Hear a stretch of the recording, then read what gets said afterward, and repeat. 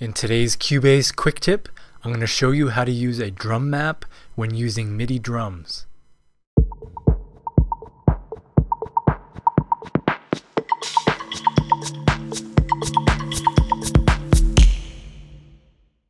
So to begin, when you start using MIDI tracks or instrument tracks, it's likely that it'll be set up with the standard piano roll and no drum map assigned. And this is what it looks like. You have the MIDI notes with a various MIDI length per note. You also have the velocity and other MIDI data built into the editor and represented there. On the left hand side you have the piano roll. Here you can you can preview the sounds by clicking on the keyboard. And this is totally fine, but with drums it's you don't really need the lengths so much and this section here doesn't really help you in any way. It's not telling you what is the bass drum, what is the the snare, the hi-hats and whatever. Um, so this is not very useful. It's very useful when you're doing instruments that have some sort of melodic content because this displays exactly what you want to know is the melodic content and you can see chords in the editor just by looking at the piano.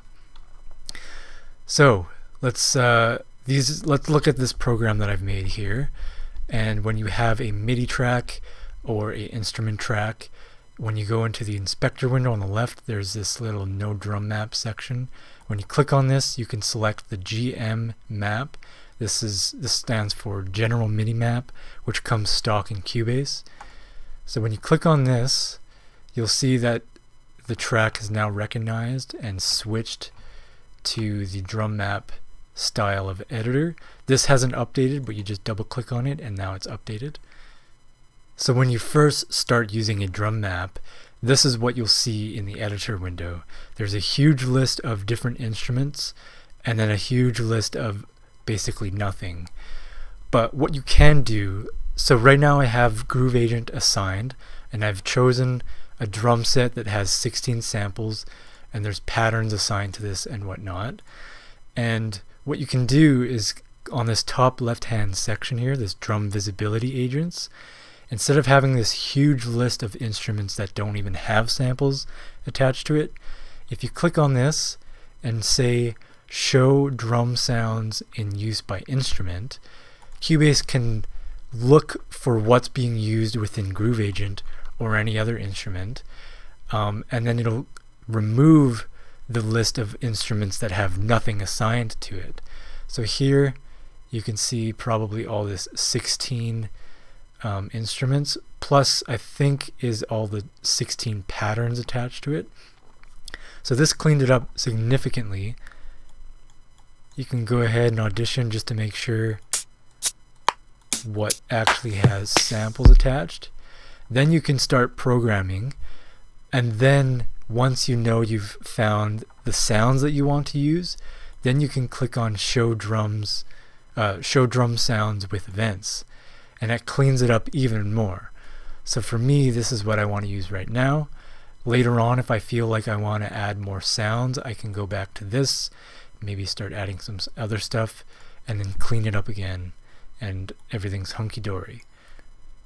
So when you're working with MIDI drums, Basically all you need is a MIDI note that triggers a sample.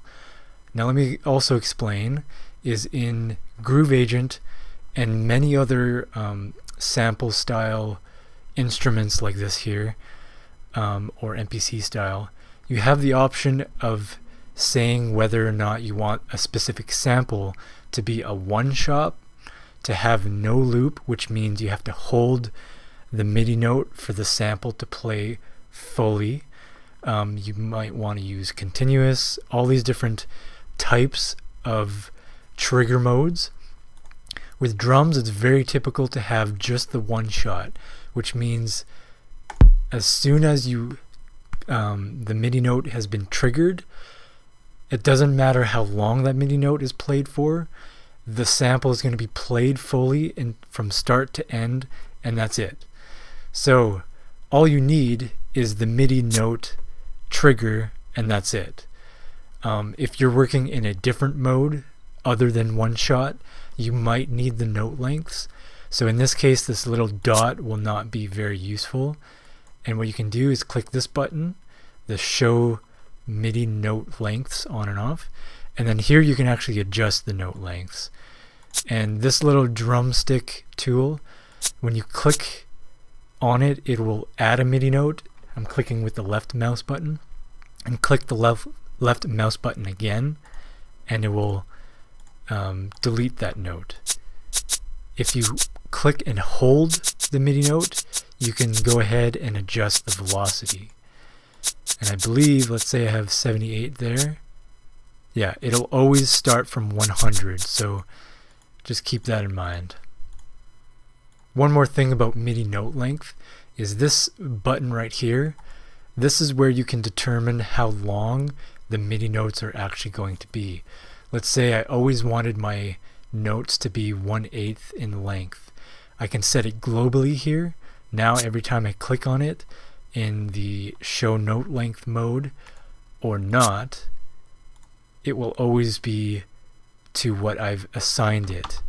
Um, if you go to drum map link, that means that when you're in the drum map setup, right here is this little quantize area. If I was to say um, my kick drums should always be one quarter length. Now when I go into here and click on the drum, it's going to be one quarter note length. So that is it for this video. Thanks for watching. Take care and bye bye.